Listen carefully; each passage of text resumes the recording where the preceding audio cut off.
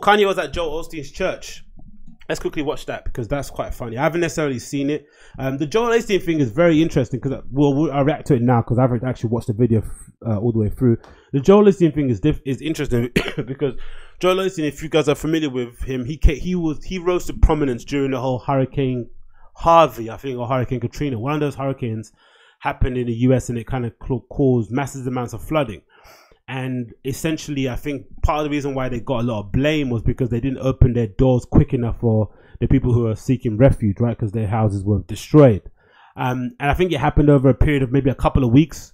And I think it all sparked or stemmed from the church um, inadvertently tweeting out their thoughts and prayers sort of tweet where people are affected by the flood. And then people reply, hey, what, instead of thoughts and prayers, why don't you open your doors up and let people in so they can have somewhere to have refuge, right? You're a church after all.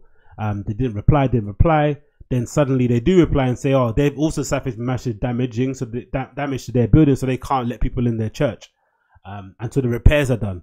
And then, of course, you know, people I think looked up the place where Joel Osteen's church is at, and I think it's a former NBA stadium or something along those kind of lines, and it's built in an area where it's there's a lot of flooding anyway in that area. So I think they built the original building. I think it was the sports arena they built it in a way where it can't get flooded. I think it's it's kind of raised on a on a platform or there's something how it's built that basically allows it to not be uh, affected by flooding as much as every any other building, right?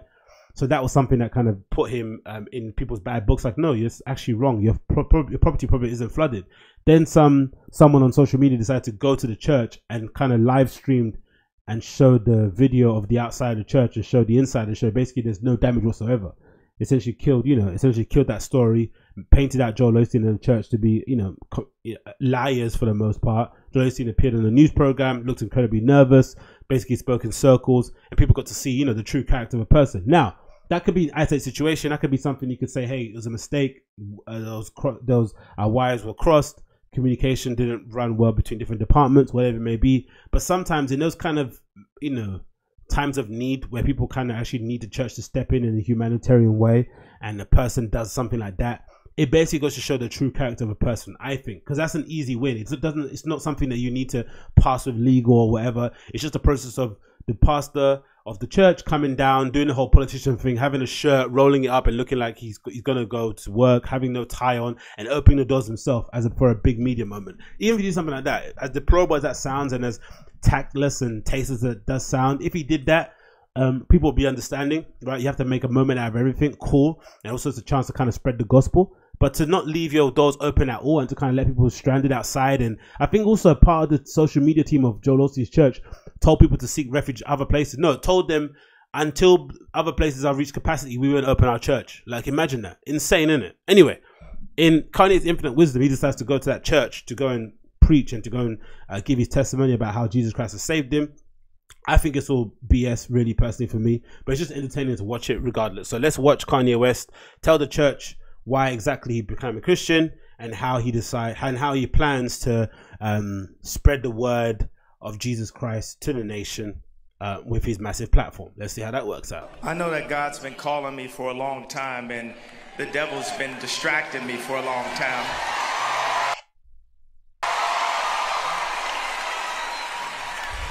It's a bit of a people pleaser, isn't it, Kanye? Now especially in this sort of sector in this area. You don't you didn't you didn't see him pander as much when he was going around, you know, um, trying to be Trump's best friend. But when he's in the church circles, I think he's very aware any miss because there isn't in I think in Christ, the, the good thing about this whole Christianity run that he's on is that for the most part, if he has a bit of a fumble or if he decides to kind of go full egomaniac on them, there is no coming back. There's no scene he can go to. There's no underground church scene. There's no church scene where he won't be met with, you know, um, hostility or questions or, you know, just kind of negative reactions. It's not going to happen. So I think he needs to be really careful about how he kind of maneuvers around, especially in the, uh, especially in the beginning stages, in, in his infancy of his uh, walk with Christ. I think later on you could obviously get away with murder, as you've seen with other preachers, but it's interesting to see how how how kind of willing he is to kind of pander to the crowd and play up to this idea that he's suddenly now become a Christian overnight. Um, you know, it's I don't know whether you believe it or not. It's up to you, but you know, you can you know where I stand on this one. And when I was you know, in my lowest points, you know, God was there with me and sending me visions and inspiring me. And I remember sitting in the, the hospital at UCLA after having a mental breakdown, and there's uh, documentations of me drawing a church and saying, writing, uh, start a church in the, in the middle of Calabasas. And even after that, I went and made the, the Life of Pablo album. I said, this is a gospel album. And I didn't know how to totally make a gospel album, and the Christians that were around. Supposedly, Life of Pablo is a gospel album. Have you heard Life of Pablo? Cool. I have. It's not a gospel album. It's not. I know artists, you know, not, you know, artists like to say that their work is open for in- interpretation. You know, um, you can ascribe any meaning you want to it. I get it, cool. But some things sound like some things. That does not sound like gospel to me. That sounds like a hip hop album. And maybe his last good album, decent album you can actually listen to back to now, for the most part. It's a real, real crying shame what's happened to Kanye over the years.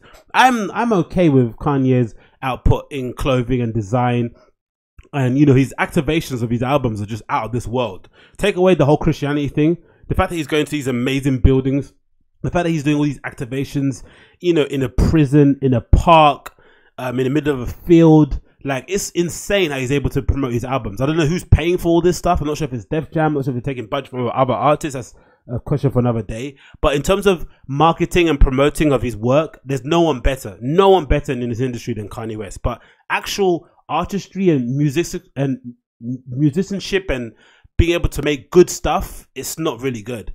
Maybe we're gonna see the best of Kanye when he links up with Dr. Dre. We've seen pictures of him obviously in the studio with Dre, so that might be somewhere we'd see him work well. But so far, it's been an absolute horror show what he's kind of gone through. But the thing that's really curious to me is that I remember when the Yandhi thing was happening. I remember Virgil, yeah, but then can't say you can't really take anything Virgil saying seriously because he's Kanye's best friend, right? But remember Virgil saying he's heard Yandhi from beginning to end. And it's the best thing he's heard in a while, right? He really built it up. And then we never heard Yandhi because obviously he scrapped it to make uh, Jesus King. But then when I've heard Yandhi leaked, the leaked version of it with all the kind of um, reference tracks, it doesn't sound that amazing. Now again, it's reference tracks, it's leaked stuff. Some, some stuff it hasn't been finished, hasn't been mastered, but I don't know if he's maybe he's just lost it in the same vein, in the same vein as Jose Mourinho. You just there can come a point where you're a winner and then time catches up with you. You stop evolving, you stop learning, you st- or you just don't get good anymore, and then your level kind of kind of peters out a little bit. That might be part of the reason why he is where he is now. He's just a natural pivot to go into Christianity. I don't know. We're too, um, I would say, beaten into submission by society to not speak up and profess the gospel to, you know, to me because I was a superstar so, but the, the only superstar is Jesus. See how much he's pandering. It's incredible to see Kanye pandering to his crowd. The so superstar Jesus. Do you, you, really think he'd say that know, I, in Fox? I was going to make a gospel album. There were Christians that were there that we're not. Excuse me, brother. I, I, go into these streams of consciousness when I'm talking, and when you when you're speaking in the middle of it, it, it, distracts me. I really appreciate the support, but I would like for everybody to be completely silent so I can let God flow through me as I speak to you guys today. This guy's a psychopath, man. He's a psycho. We knew it anyway before. I think it was. Um, I think I can't be that annoyed by it because I think I liked it when he was doing this in terms of being the person that was going to break down the fashions door, fashions um uh, gate. Well, he's going to break down the yeah, break down the doors for everyone in fashion. Um, essentially, that's what he did. Um, he was the Trojan horse. He he got all the arrows, and everyone else was able to come in and get Nike collaborations and get deals and you know become creative directors and fashion directors and stuff. Cool, he did it, amazing, and it worked then, and it probably aligned more with the stuff that I'm into, right? Um, creative force, artistry, you know, pushing yourself to mastery, great. But in this context, in the church, him telling everyone in the congregation to be completely silent in an evangelical church, right? This is the church where they're quote unquote happy clappy, right? Dancing, jubilation, speaking in tongues. He's requesting everyone to be completely silent so he can speak, so God can flow through him because God is now using him as he what he ordained himself as the greatest artist of all time, and now God is using him.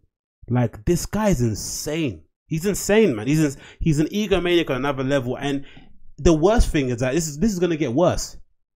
If there's one place where you can go and wax your ego, right, and give yourself an inflated sense of self, and think more of yourself is there's nowhere more to do this in the Catholic Church and obviously in the Evangelical Baptist Church.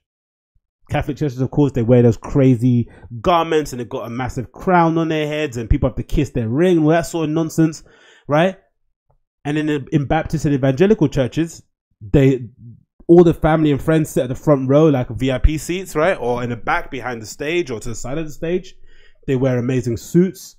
The main preacher has security detail. He drives, you know, a bulletproof car, you know, expensive watches, flies private, all the things that you would think that would um uh you know boost somebody's ego, you can find them in the church, especially if you're somebody of merit somebody of notoriety, somebody with some kind of talent. Like, have you have you met a choir director from a church before? Do you know how much big of an ego they have? It's it's insane because they're the choir director, right? Why wouldn't he have a big ego? So imagine what he's going to be like in a few years when he suddenly gets his own church, when he has people giving tithe, when he has people uh, falling at his knees, when he kind of cast uh, the devil out of people, when he baptizes people. Imagine how big of an egomaniac Khan's going to be. You think he's horrible now. Imagine, imagine start people start actually referring to him as a as a saint. Imagine. It's gonna be insane, man. Like it's uncomfortable to see, but no surprise. Similar to what we're seeing at SPAC Nation, we're gonna see it in we're gonna probably see it in the US as well. Um, incredible. We probably exactly imagine it happening. Kanye West starts a church.